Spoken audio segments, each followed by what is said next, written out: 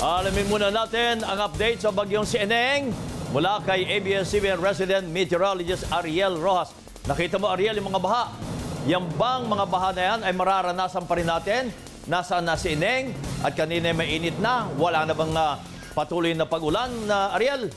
Kabayan, good news, nakalabas na ng Philippine Area of Responsibility ang bagyong Ineng kaninang madaling araw.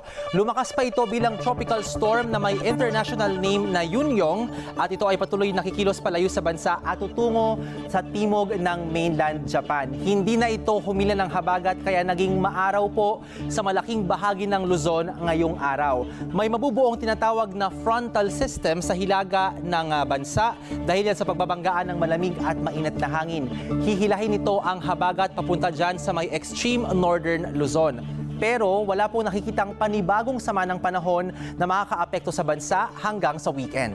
Sa rainfall forecast ng The Weather Company para bukas, thunderstorms na lang ang magadala ng mga pag-ulan.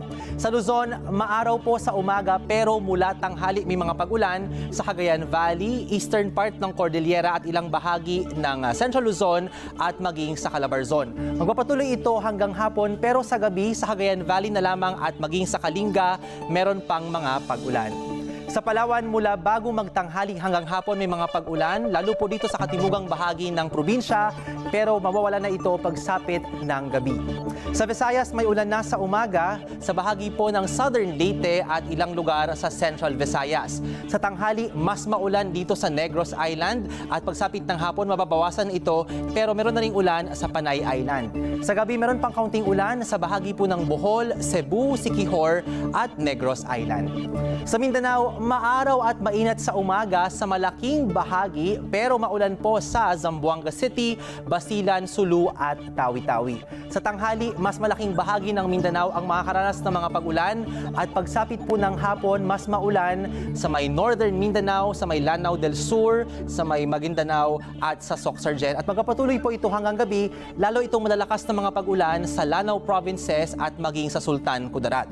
Kapamilya, mag-ingat dahil posible po ang mga pagbaha at pagguho ng lupa.